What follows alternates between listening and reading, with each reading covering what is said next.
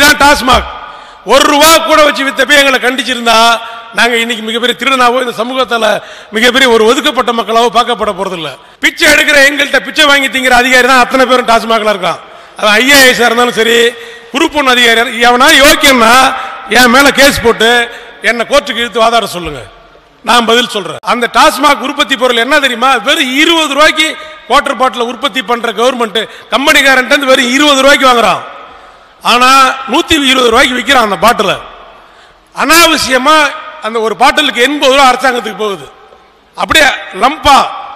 அப்படி ஒரு குடிகாரன் வயிற்றில் அடித்து கவர்மெண்ட் நடத்துகிற நீங்கள் அஞ்சு பத்து வாங்குற எங்களை திருடன்னா அஞ்சு ரூபா கூட வாங்குற நாங்கள் திருடனா எண்பது ரூபா கூட வர்ற நீங்கள் யாரா நீங்கள் யார்? கோடி கோடியாக கொள்ளடிக்கிற எங்களுக்கு ஒரு மந்திரி வரார். அவர் திடீர்னு உத்தம புத்திரன் ஆகி ரொம்ப அப்படியே ஒரு ரூபா கூட வச்சுருத்தாலும் உங்களை திகார் ஜெயிலில் போட்டுருவேன்ட்டார். ஆனால் அவர் ஊழல் வழக்கு கோர்ட்டுக்கு போகவே மாட்டார் பல கோடி ரூபாய் ஊழல் பண்ணிட்டான்னு கோர்ட்டில் கேஸ் நடக்குது. அவர் அரெஸ்ட் பண்ண சொல்லி ஜட்ஜே சொல்ற அவரை கோர்ட்டுக்கு வர சொல்லுங்கன்னு.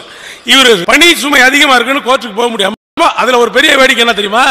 டாஸ்மாக் நிறுவனம் லாஸ்ல போதுங்கிறா நாங்கள் போனஸ்ல கேட்கும்போது போனஸ் கேட்டாக்கா நிறுவனத்தில் டாஸ் நிறுவனம் டாஸ்ல போனா மூடிடு. இருபது ரூபா பாட்டில் நூத்தி முப்பது ரூபாய் விற்கும் போது எப்படி லாஸ்ல போவோம்? பைத்தியக்காரன் சொல்லுவானா இப்படி ஒரு ஸ்டேட்மெண்ட்டை